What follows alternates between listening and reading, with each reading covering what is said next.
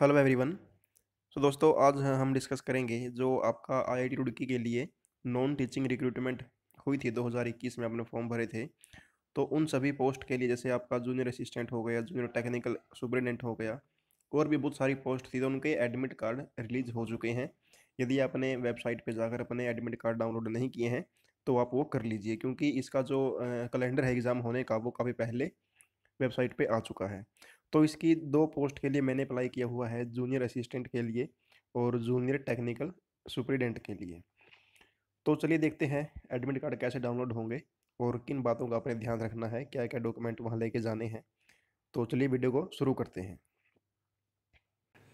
तो सबसे पहले आपने गूगल पे लिखना है आई आई रुड़की और उसके बाद जब आप नीचे थोड़ा जाओगे तो वहाँ आपको मिलेगा नॉन टीचिंग जॉब का एक ऑप्शन, ठीक है? नॉन टीचिंग जॉब का आपने यहाँ क्लिक करना है।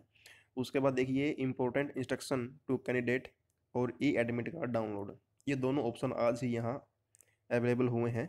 उससे पहले यहाँ पर जो जिन बच्चों ने अपना एप्लीकेशन विदड्रा करवाया था, उनकी लिस्ट है और सिलेबस भी दिया है और डिटेल जो शेड्यूल है, वो भी आपको मिल जाएगा।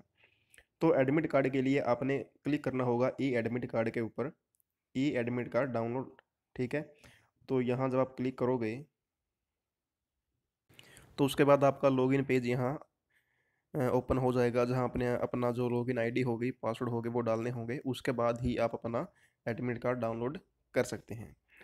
तो चलिए मैं अपना यहाँ पर लॉगिन आईडी और पासवर्ड डालता हूँ, उसके बाद देखते हैं। तो लॉगिन करने के बाद आपके सामने ये पेज ओपन होगा, जहाँ आपने जिन पोस्ट के लिए अप्लाई किया हुआ है, वो पोस्ट यहाँ पर अवेलेबल आपकी हो जाएँगी और एडमिट कार्ड भी आपके यहाँ नीचे आपको मिल जाएँगे, जितनी पोस्ट आपने अपने अप्लाई किया जिनकी, जितनी पोस्ट के लिए। तो मैंने दो के लिए किया था junior technical superintendent group B के लिए और जूनियर असिस्टेंट ग्रुप सी के लिए।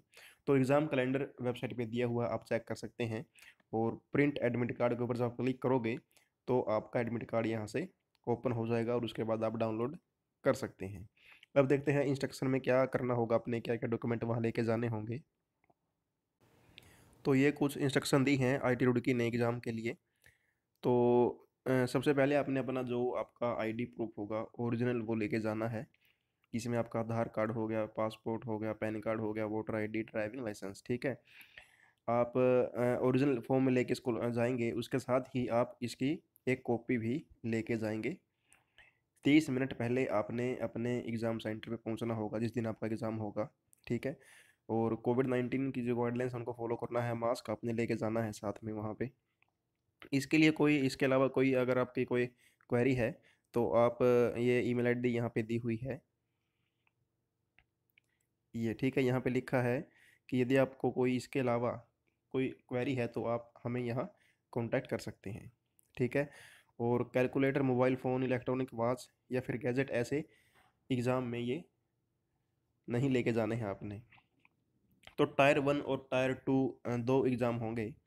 तो टायर वन अभी एग्ज़ाम होगा, जो कि एक क्वालिफाइंग नेचर होगा, इसके आपके जो फाइनल सिलेक्शन होगा, उसमें मार्क्स नहीं ऐड होंगे। टायर टू का जो एग्ज़ाम होगा, वो इसके बाद होगा और उसी के बेस पे आपका सिलेक्शन होगा।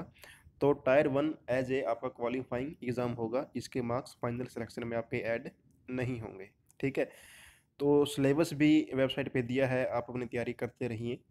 और इसके रिगार्डिंग आपको डाउट क्वेरी हो तो जो मुझे पता है कमेंट बॉक्स के ज़रिए आप हमसे पूछ सकते हैं, क्योंकि एग्ज़ाम इसका मैं भी देने जाऊँगा जूनियर असिस्टेंट के लिए और जूनियर टेक्निकल सुपरिटेंडेंट के लिए।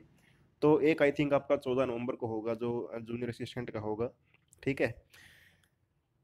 सो आई होप आपको वीडियो पसंद आई होगी वीडियो को लाइक करें शेयर करें और चैनल को सब्सक्राइब करना ना भूलें। आपके डाउट कमेंट बॉक्स में आप पूछ सकते हैं। Thank you